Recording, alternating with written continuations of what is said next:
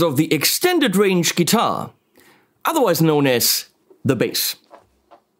Not quite as extended as some of you might like, because this is a four string bass. Therefore, a reduced range bass, extended range guitar. Yeah, the premise of what I started with is stupid. Hey, so here's what happened. I went to Musikpark Leipzig, which is a new trade show, and I ran into uh, some friends of mine, uh, namely the people from uh, Musik Meyer. And we talked about, hey, what new guitars can I show? And we talked about the Mariposa and other stuff and uh, things, uh, plans of my relationship with them for the coming year and stuff. And we talked about affiliate money, which is good, which means if you use my link, which you please use them, uh, I have Sweetwater links now. Sweet, Sweetwater. I have Sweetwater links. And Thomann links, use whatever apply to you. Uh, if you do, and then whatever you buy, you don't have to buy that product. I actually get a commission, which is great. So please use them. Um, even if you buy something else, use my link and then buy something else. But uh, Chris was like, hey, Stingrays always sell. Well, maybe that means I need to make a Stingray video. So, um, I would like to tell you this is a paid for video, but as of yet, I actually don't know because we don't have an agreement on that. So I'm just making it and let's see what happens. Let's see if I can get some money from those nice people from the distributor. So he uh, ran to the car at the trade show, grabbed the beautiful case that this comes in. It was in it, and said, and said, take it home, make a video. Now I'm home, I'm making a video. Um, and this is actually a pretty cool one. I've had a Stingray copy from uh, what's the brand again? Fame from Music Man for a while. It was impossible to play live because it was ridiculously heavy. I, I tried it uh, in a rehearsal once and uh, it literally broke my back. Luckily, I had my Magnum bass in the car and I could trade. Um, but this is absolutely fine. Now, this is uh, the Stingray reworked from Music Man. What they reworked and what's better, I can't tell you, but I can tell you some specs. This is a four string. Now, something that a lot of companies now do is uh, roasted maple. And the guitars kind of started it, and now look at it. Roasted maple. Now, what's the benefit of roasted maple? And I might be completely wrong about that because I don't know things. But one of the benefits is it becomes more stable in different climates. So when you have a well done roasted maple neck, it should keep uh, its shape and therefore the tuning much more stable. Uh, like on the Ibanez AZ, which is roasted maple, but then also S-Tech treatment where they, I don't know, freeze it or something. Uh, it's pretty much impossible to get that guitar out of tune by moving it through different climates. So this should be a much more stable uh, material, but also it looks damn cool. I mean, I would always go for a roasted maple before I go for a maple neck. Um, and as we're looking at the back, look at this sparkle. We're gonna go to the favorite cam here and show this color. Cause I'm not a sparkle kind of guy. But if I had a choice, yeah, I would get this one in the gray sparkle. It's called charcoal sparkle before I would get it in the traditional sunburst. And of course, they have tons of different colors. But for me, this is actually kind of cool. With the black and the roasted maple, it, it works as a whole. Um, what else do we have? Well, of course, all the Music Man typical stuff, like the uh, truss rod adjustment with the spoke wheel right here. There you can see it, which is obviously a lot easier just to stick something in there and wiggle it you literally go click, brink, adjust the truss rod instead of opening like something up here and uh, getting a stupid wrench in there, which you then can't turn because the strings are in the way. You know, you know what I'm talking about. Um, but the other benefit of the truss rod adjustment here is that this part stays more solid because you're not hollowing it out. There's usually a big ass hole here, which makes this part of the neck much more prone to breakage, um, which is why here we don't need a volute. It's always nicer to have one, but it's not 100% necessary. Obviously, we got the 3 1 tuner distribution.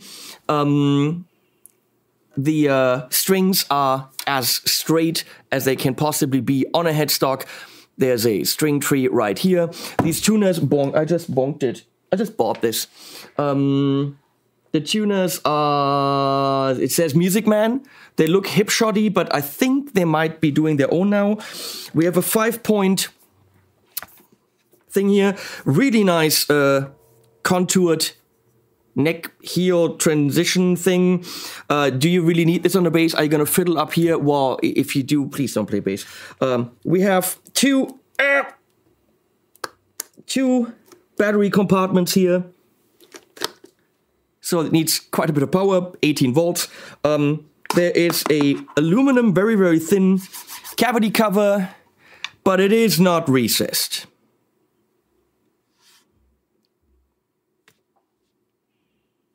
What can you do? I mean, that's five more minutes on the CNC, and we can't possibly do that. I don't know. We still don't know why they're doing that. Um, what else? A uh, pretty traditional bridge, for Music Man at least, right there. So we have four knobs, all of them wahs. It's like wah wah, wah wah, wah wah, wah wah. No, they're not. Michiel asked me to say that. I was forced. Um, it's a an 18 volt three band EQ. I'm going to assume this is bass. There's a mid notch, so it's easy to find the neutral, posi neutral position. There, there, and that's volume. Um, two humbuckers on this one. Um, we have plastic dot inlays. If you ask me, I mean, I know it's traditional for the Stingray to have this. If you ask me, get rid of them, make it super streamlined looking without anything, or make them charcoal sparkle. I don't know. They don't bother me, but I think you, they could be cooler. But they're huge ass dots. Um, we of course have beautiful dots on the side, and they are pretty damn centered. The fretboard looks great. The whole craftsmanship on this instrument is, of course, very good. And you can see that the lacquer starts up here, and this is natural maple.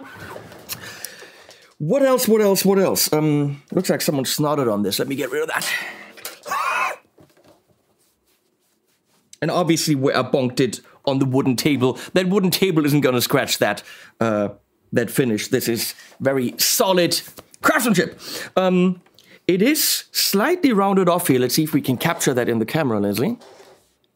So you see, there's a little bit of a roundation of course, a little bit of a belly carve. It's a very ergonomic piece of bass. And you probably already saw it, we have a five-way blade switch here, which is very uncommon for bass. Usually in bass, you have a blend knob between the two pickups. Um, so you can see whether you want more in the front, more in the back with a blend knob, which in this case would have required a fifth knob uh, or fifth pot. And then you have a switch usually for a little switch for a single coil humbucker. Um, if you want to offer that. That's the way that my Sandberg does it, for example. Um, and I have to say, as a guitar player, I do like the blade idea. It's uncommon and it's in a position where you don't flick it while you play. It's actually going this way a little bit. As you can see, uh, do we have any camera that can show that? Yeah, there. Guitar one. That's guitar two, but okay, fine then. so you can see it's not something you can flick like this because it's actually going in the opposite. But a, gu a guitar player, a bass player wouldn't. And realistically, and that's just me, who's a guitar player playing bass, I usually have it on both all the time. I can't tell you how many times I've only had the front or the, uh, the, the neck or the bridge pickup because I probably have never done that. I always have a mix 50-50. So yeah, here you can't freely blend as you want, but you can be on this, you can be on this, you can have both of them, which is where I would go. And then in the in-between positions, single coil here and single core there. I assume, because I couldn't find this base on the website. So what I did find on the website, I can read to you which is on the Thomann website, where I found this exact base for $23.99. Um, we're gonna get into pricing at the end of the video. So it's got an uh, ash body, five something, uh, fretboard, a five piece thing, Um, ebony fretboard, 22 frets, which are pretty damn flat. That's cool. Uh, graphite saddle, which is compensated. So uh, Music Man always does that to give each string a little bit of a different scale uh, for something tuning. Let's see if we can actually capture that. I don't know if you can see that. They're slotted slightly differently in different length. That's pretty damn cool. Um, we have uh, 41.3 millimeters here. We have a 34 inch scale. We have an 11 inch radius. No clue what that means. Uh, Music Man neodymium humbuckers, active three band. This is aluminum or aluminium. And this is aluminum or aluminium, which is kind of cool. This is a standard plastic pickguard, uh, but this is a is actually metal. Metal! See? Which is kind of cool. And it works beautiful with all the black. So, by now you're gonna say, well, he's talked a lot. Well, that is true. And you've probably been to the channel for the first time because you're a bass player and uh, none of my other over 2,000 videos interest you. Um, the case that it comes in is amazing. All the Music Man cases are extremely good, and that is something you have to consider when buying this, that you're getting a really good molded hard case with it that will absolutely protect your investment. Um, so we're gonna start, we're gonna do a couple things. We're gonna start in the middle with the EQ. And I'm going right now through the Starlifter preamp by Nordstrand um, which I'll also review. So let's see if you just hit, there you go. There's a Starlifter preamp. Um, this volume doesn't do anything when I'm going uh, XLR. Uh, Carey Nordstrand is an amazing bass builder, uh, makes killer pickups, and this is his preamp right now. So I'm going to turn the EQ off. So whatever you see here has no bearing whatsoever. Actually, right now, nothing does anything. So if I'm playing here.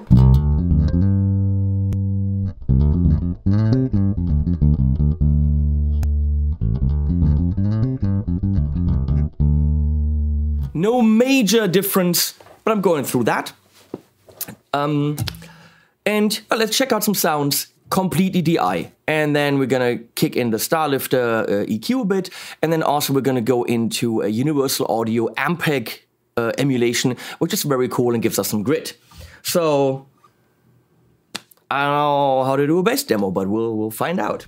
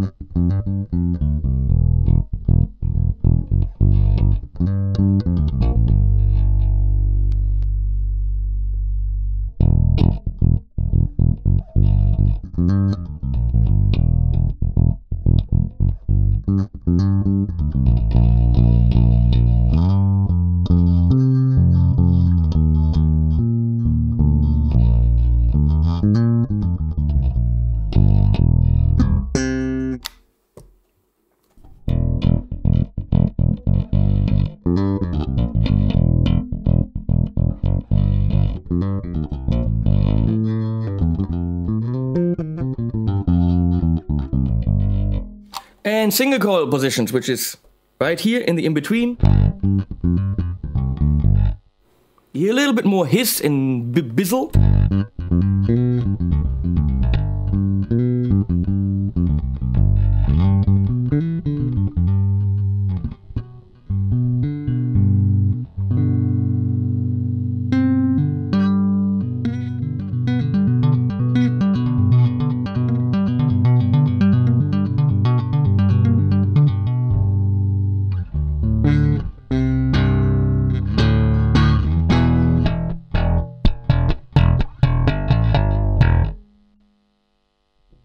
Single coil here.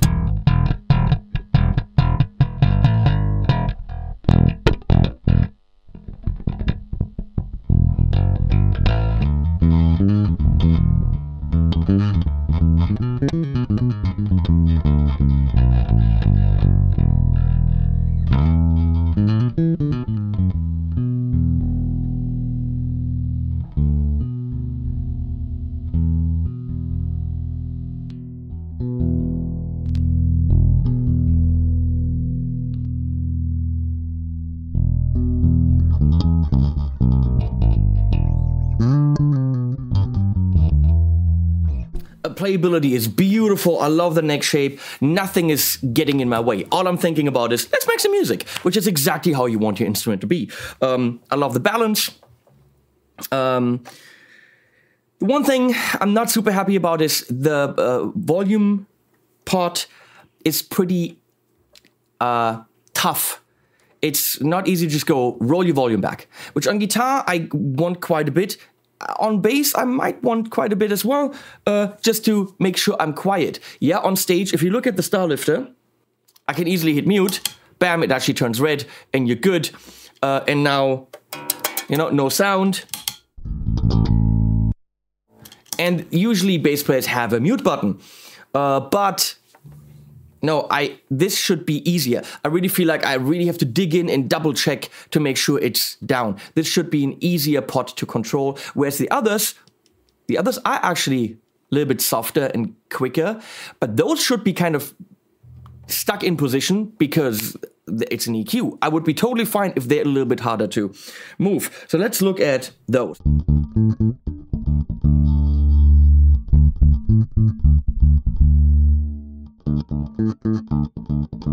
That's a massive EQ boost there.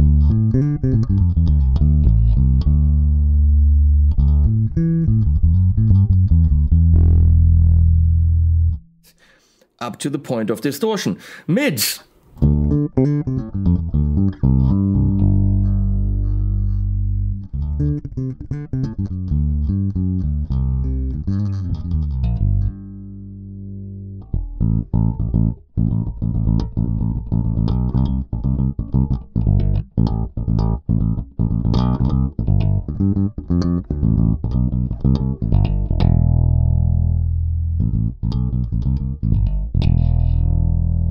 That's a beautiful frequency, actually. It's not muddy, it's just to get it a little bit more.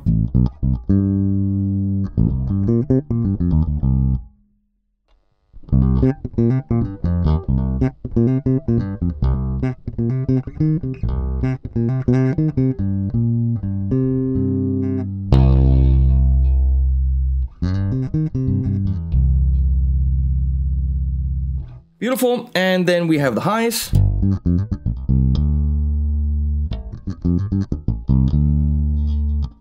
Them.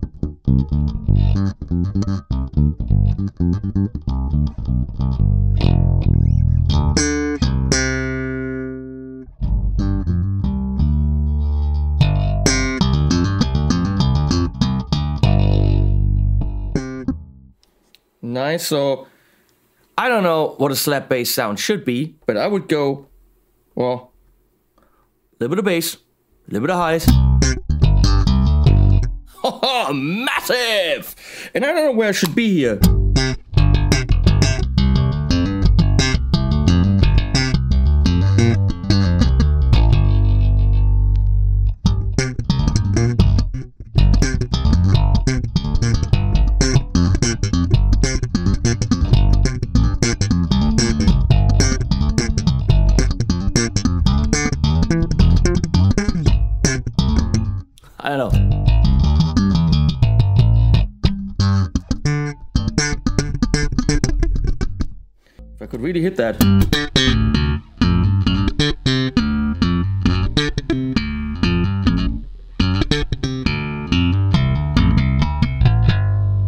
That's nice.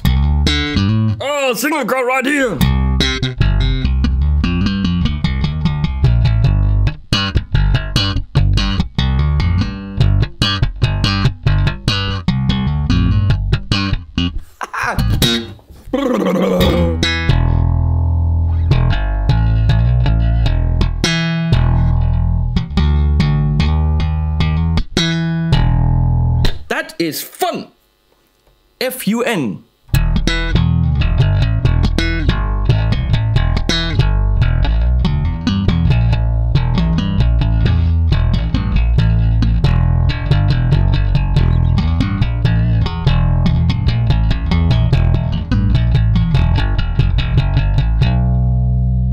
I'm driving a little bit hard here. Holy crap.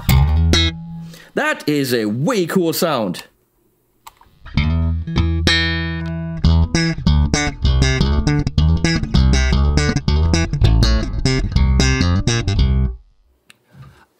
Actually don't know what I would go for. if I'm playing rocky kind of stuff, or rocky kind of bass, I would go for that. Let's see with the pick. There's so much stuff you have to cover on a bass review, it's ridiculous.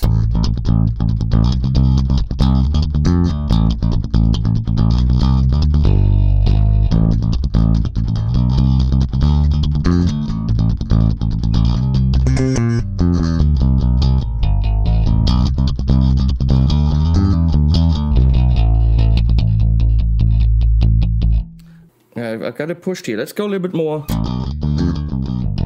See, that's the difference of that preamp. That's ridiculous. There's no active passive here. Nope. It's always active. Let's engage the Starlifter. EQ.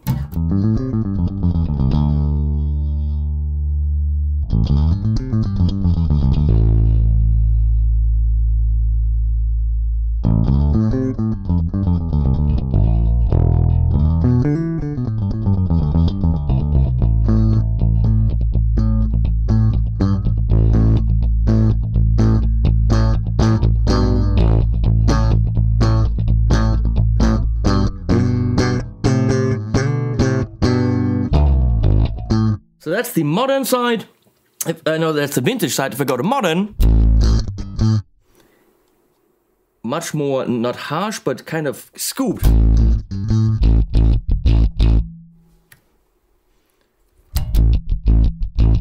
And it's driving a bit.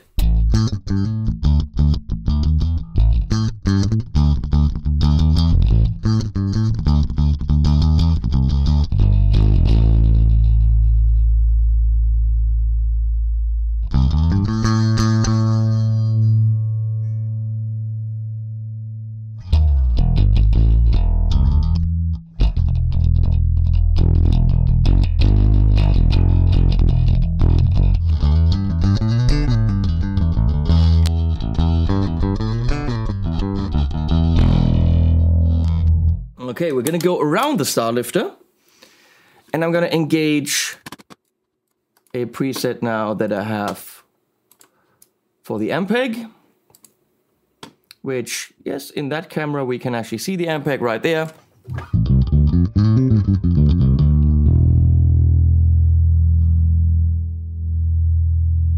I'm gonna center everything here. It's actually a really nice DI kind of simulated Ampeg thing. Which of course changes the sound drastically.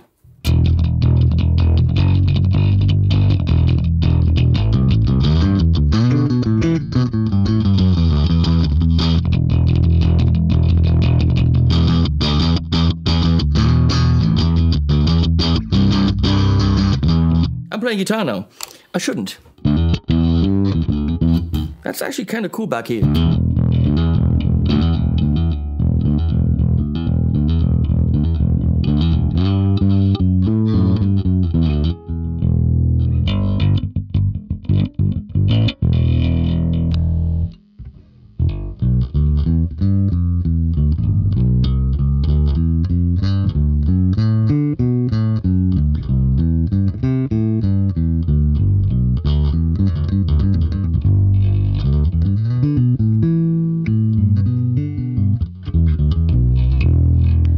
Single coil, quite a bit more buzz, but I mean that's it's a single coil.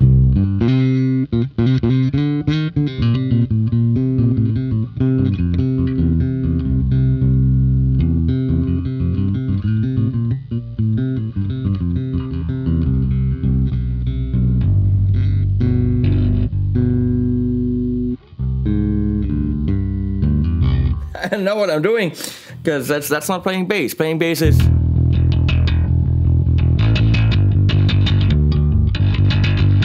have all that stringy, clicky definition.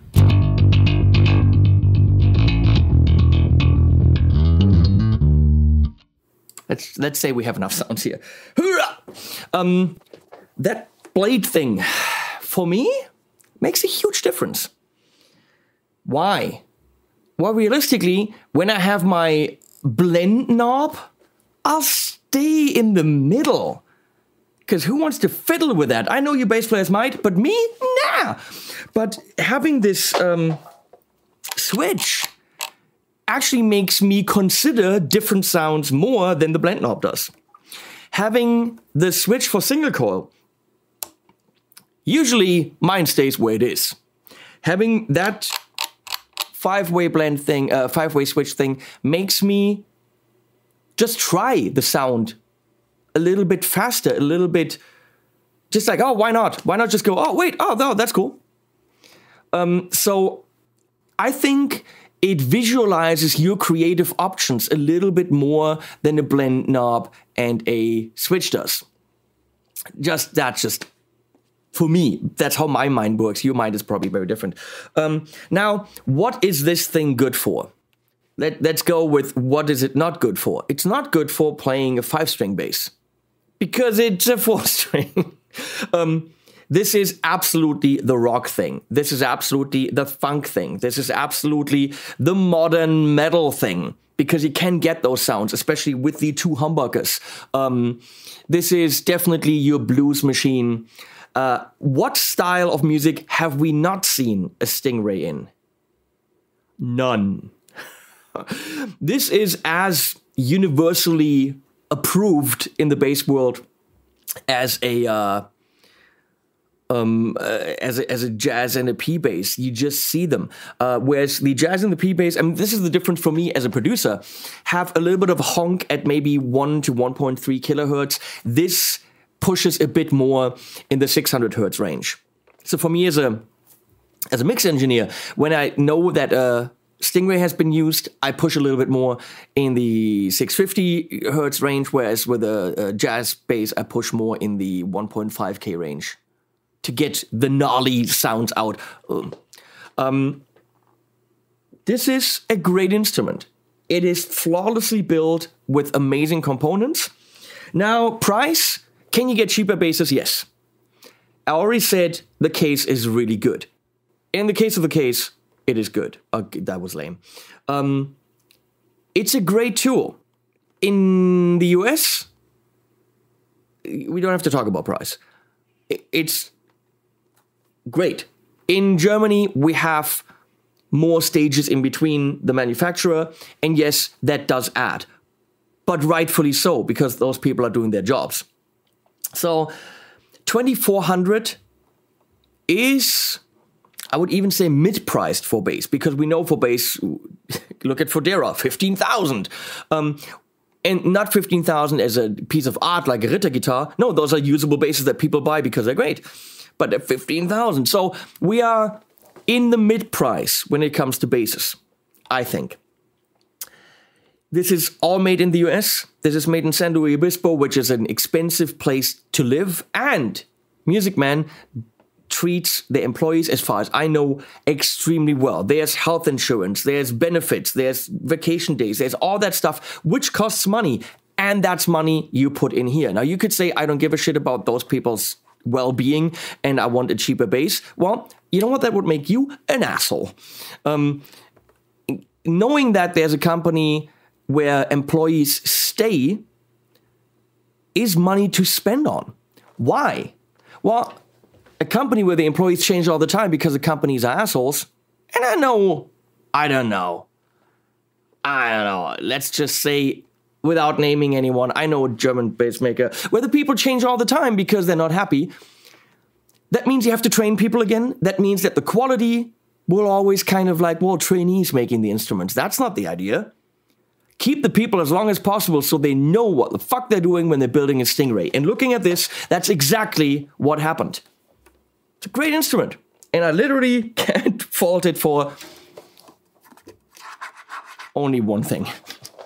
Um, that's it. Uh, this goes back to them. Uh, charcoal sparkle, that's the way to go. If you want to save some money, buy it with one humbucker. But I, actually, the sound options are pretty cool, so buy it with two. Stingray, I think special HH CS, something like this. Link below to Sweetwater, link below to Thomann. Please use them because that helps me. And uh, thanks to Musik Meyer for loaning me this. as of yet, that's all I know that I'm getting for this. Maybe I get more. Who knows? Um, and uh, animals at the end.